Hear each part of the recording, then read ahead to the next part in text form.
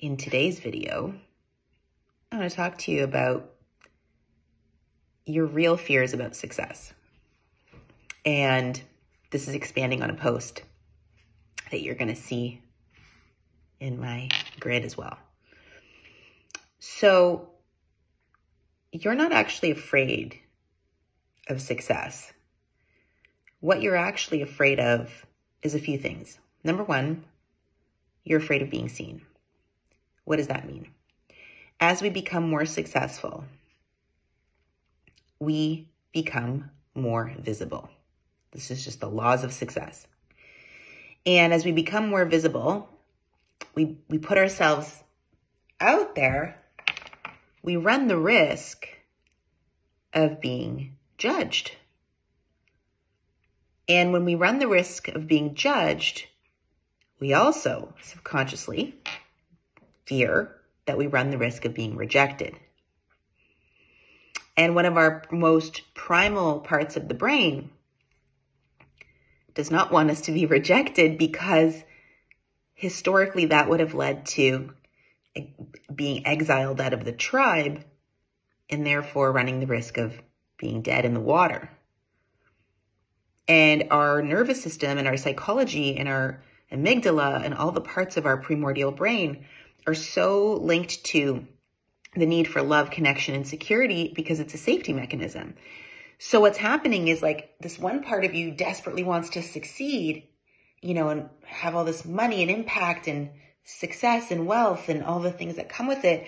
But this other part of you is like terrified, fucking terrified that, you know, people are going to see you. And then when they see you, they are going to judge you. And because that's what people do.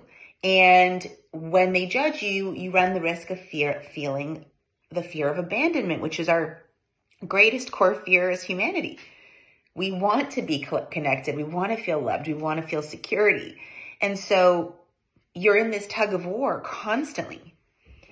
And so part of the formula for success and part of the laws of success is that you always have to be willing to sacrifice.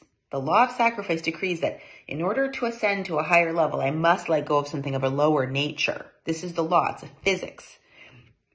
For my ascension, I must release things that no longer serve me. Well, what's one of those things that no longer serve me? Caring what other people think.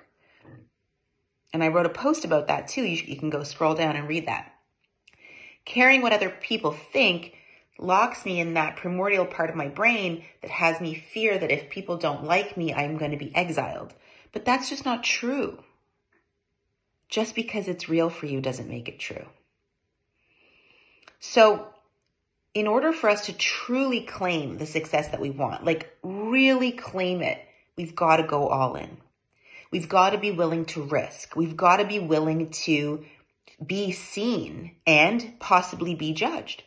But we have to build up that self-confidence, that self-esteem, that self-worth, that self-efficacy so that when we are being judged, which has nothing to do with us anyway, because I have another post that reads, what other people think has nothing to do with you, it's more to do with them.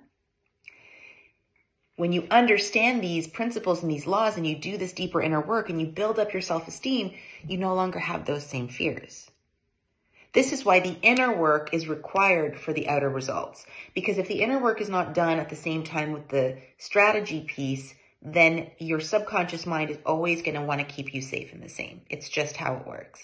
So today, ask yourself, what do I need to let go of in order to go to my next level? Because I deserve to have the success that I truly desire. All right.